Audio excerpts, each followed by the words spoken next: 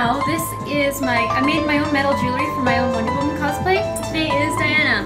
I'm actually going to paint this necklace on, even though it's not in the version we're doing.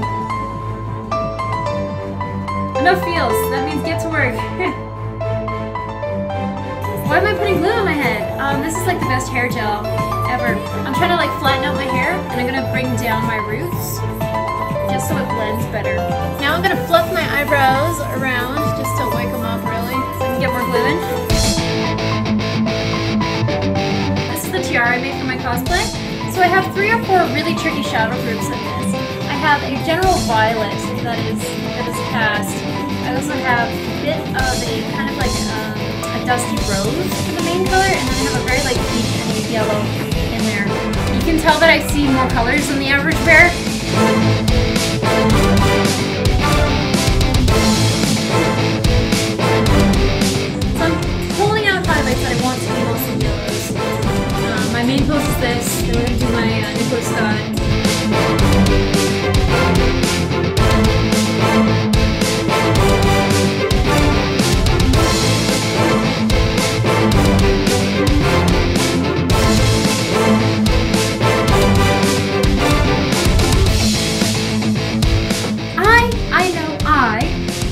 Will survive. As long as I know how to love, I know I will stay alive.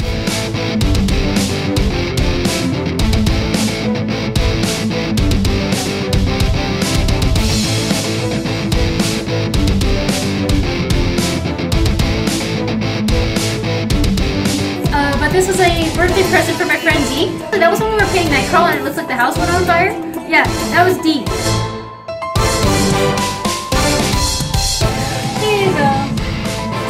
Souls.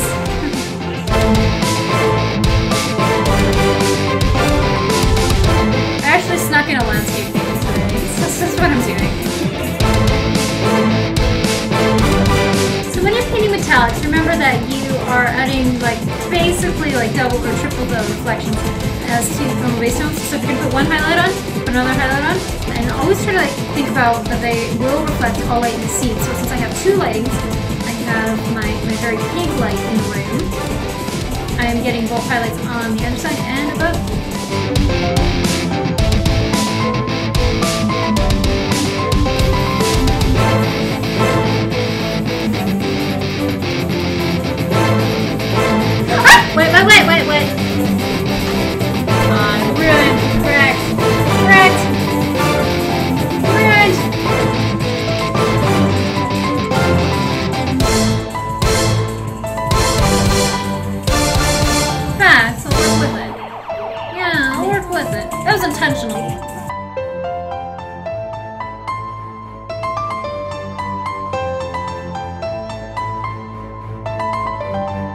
Now when I'm doing my lips, whenever I'm lining my lips, I have to be really careful.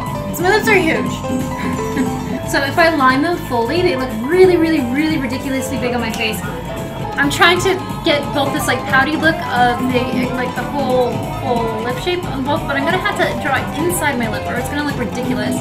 So when you're doing illusion body painting, remember that your features don't matter, it's the character you're trying to get to, and you have to scale their proportions to your face. Don't even know if I'm comfortable with my full top lip, honestly.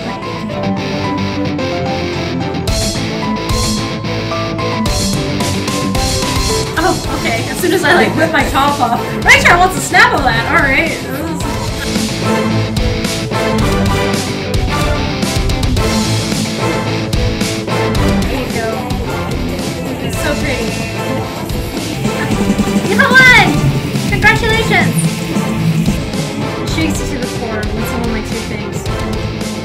Speaking of excellent segue, this book has given me more laughs than any book ever has before. If you would like to follow me on any of the social media, the Snapchats, the Instagrams, the Facebooks, as K Fashion,